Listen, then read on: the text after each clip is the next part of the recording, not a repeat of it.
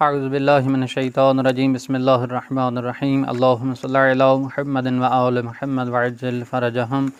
محترم ناظرین، آج کی اس مختصر سے ویڈیو میں انشاءاللہ ہم بیان کریں گے، اگر آپ چاہتے ہیں کہ قیامت کے دن آپ کو کوئی خوف نہ ہو، کوئی ڈر نہ ہو، تو پھر آپ کو چاہیے کہ آپ اس جو سورہ ہے، اس کی جو ہے تلاوت کریں۔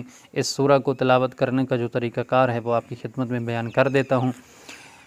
چھٹے امام پر کسی شخص نے سوال کیا کہ یہ اپنا رسول اللہ کوئی ایسا عمل، کوئی ایسا وظیفہ کہ جو قیامت کے دن انسان ہر قسم کے، ہر طرح کے خوف خوف و خطر سے جو ہے محفوظ رہے، اس کے اندر کوئی خوف نہ ہو، وہ مطمئن رہے، ایسا کوئی عمل بتائیں جس کو انجام دینے سے انسان جو ہے قیامت کے تمام تر جو ہولناک جو ہے واقعات ہیں اور حادثات ہیں، ان سے محفوظ رہے۔ تو امام نے فرمایا کہ جو شخص بھی چاہتا ہے کہ وہ قیامت کے دن تمام تر پریشانیوں سے محفوظ رہے، تمام تر خوف سے جو ہے وہ محفوظ رہے۔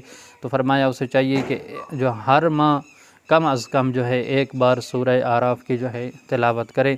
فرمایا وہ قیامت کے دن جو ہے تمام تر خوف سے جو ہے وہ محفوظ رہے گا، اس کو کسی قسم کا کوئی ڈر اور خوف نہیں ہوگا۔ تو دعا ہے خداوند مطال کی ذات ہمیں اس عمل کو انجام دینے کی توفیق عطا فرمائے۔ آپ تمام مومنین کی خدمت میں ملتمس ہوں، دعا میں یاد فرمائیں گے۔ اگلی ویڈیو تک دیجیے اجازت۔ اللہ حافظ۔